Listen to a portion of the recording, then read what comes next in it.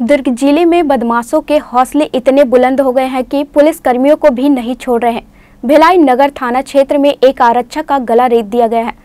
गलीमत तो यह रही है कि आरक्षक को ज़्यादा चोट नहीं आई। आरक्षक की गलती बस इतनी थी कि उसने बदमाशों को शराब पीने से मना किया था। पुलिस ने आरोपी को गिरफ़्तार कर लिया है।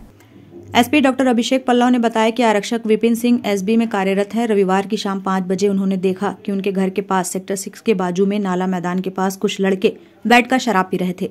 विपिन सिंह ने पास जाकर उन्हें मना किया तो अनिल पंडित नाम के व्यक्ति ने गाली गलौज करते हुए हाथ में पकड़े कटर से आरक्षक के गले पर वार कर दिया। इससे आरक्षक विपिन सिंह के गले के पास गंभीर चोट आई। इसके बाद आरक्षक को तुरंत अस्पताल ले जाया गया, जहाँ डॉक्टरों ने इलाज के बाद स्थिति संभाली। जिस धारदार हथियार से वार किया गया था, वह गर्दन से कुछ ऊपर लगी, जिससे आरक्षक को गंभीर चोट नहीं लगी। फ़िलहाल आरक्षक की हालत ठीक है। आरोपी अनिल पंडित को पुलिस ने गिरफ़्तार कर न्यायिक रिमांड में भेज दिया है। एसबी के कांस्टेबल जो है, वो चार लोग बैठ के पी रहे थे। उनको मना करने पर उनके द्वारा जो है, आरक्षक के ऊपर चाकू से हमला किया गया और तुरंत पुलिस द्वारा कांस्टेबल को हॉस्पिटल पहुँचाया गया। उसकी स्थिति सामान्य है। जो चार दोषी हैं, उन पे आईपीसी की गंभीर धारा 307 और आर्म्स एक्ट पे कार्रवाई की गई है। उनको गिरफ़्तार किया गया। ग्रैंड न्यूज़ के लिए अतुल शर्मा की रिपोर्ट।